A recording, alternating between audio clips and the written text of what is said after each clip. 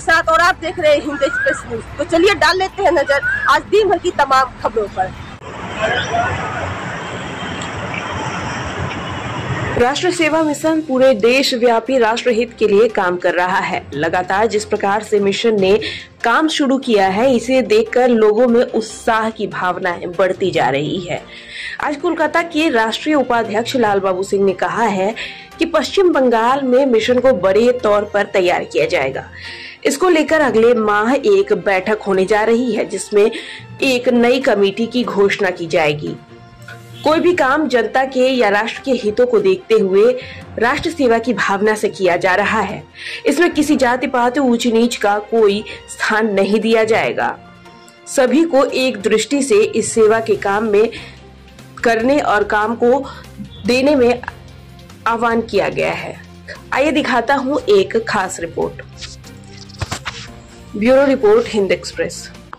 राष्ट्रीय सेवा मिशन की तरफ़ से एक बड़ी मुहिम चलाई जा रही है, जो पूरे देश भर में, विभिन्न राज्यों में, या जो यहाँ के कार्यकर्ता हैं, वो इसमें लगे हुए हैं, और भारी संख्या में जो लोग हैं, वो इससे जुड़ रहे हैं, ताकि जो राष्ट्र मिशन का काम है, वो पूरा हो सके। जो बच्चों को पढ़ाई में सुविधा हो रही है जिनको किसी प्रकार की सहायता की आवश्यकता है, उसको लेकर राष्ट्रीय मिशन काम में जुट गया है। और आइए यहाँ पर पश्चिम बंगाल में यहाँ पर हरीश हरीश जी को इसका दायित्व दिया गया है। और आप देख सकते हैं कि आज इसको लेकर के एक बैठक हुई है। और इस बैठक के बाद में इस मिशन को सफल बनाने के लिए आगे की जो भी रणनीति होगी, वो तैयार की जा रही है। कोलकाता से नरेंद्र दुबे की रिपोर्ट। पाकिस्तान का राष्ट्र के प्रति समर्पित, राष्ट्र के प्रति सेवा की भावना, राष्ट्र के प्रति, राष्ट्र में जो बढ़ रहे कुरीतियाँ, जैसे आपके शादी विवाह में दहेज प्रथा को समाप्त करना, यह मेरा मिशन है।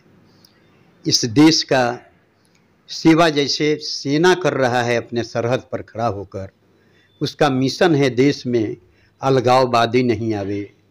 देश को तोड़ने वाला कोई ऐसा शख्सियत नहीं आवे कि देश में आतंक फैलावे। यह राष्ट्र सेवा मिशन उसके तरफ़ भी ध्यान रखता है।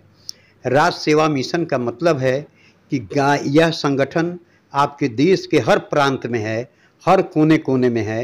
राष्ट्र सेवा मिशन के राष्ट्रीय अध्यक्ष जितेंद्र नीरज जी हैं, जिनके नेतृत्व में देश में सब जगह इस संगठन काफ़ी मज़बूत हुआ है।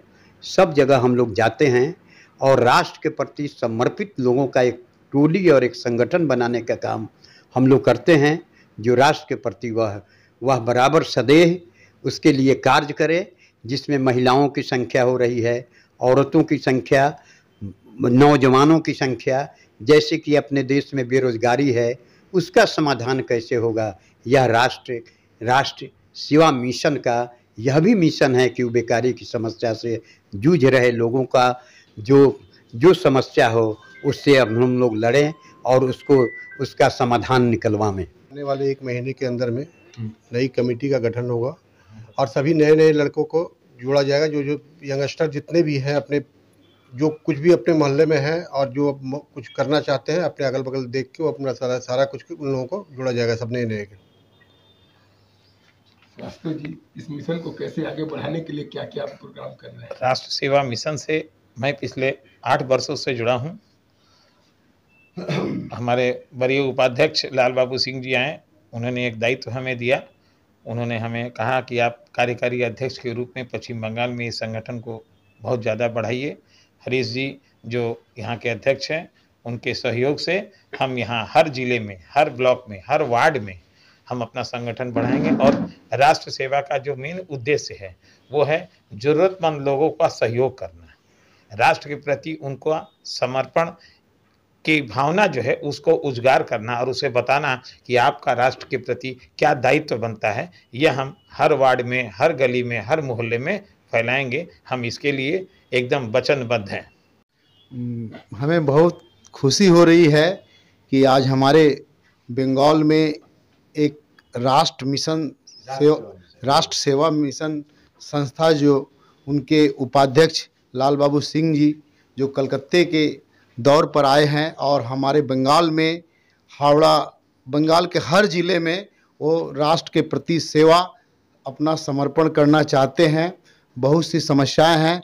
मैं उनसे यही रिक्वेस्ट करूँगा कि आप जो है ऐसे ही लगे रहे और हम लोगों को आपसे आगे बढ़ना है, आप हमारे आशीर्वाद दें ताकि हम लोग आपके साथ चले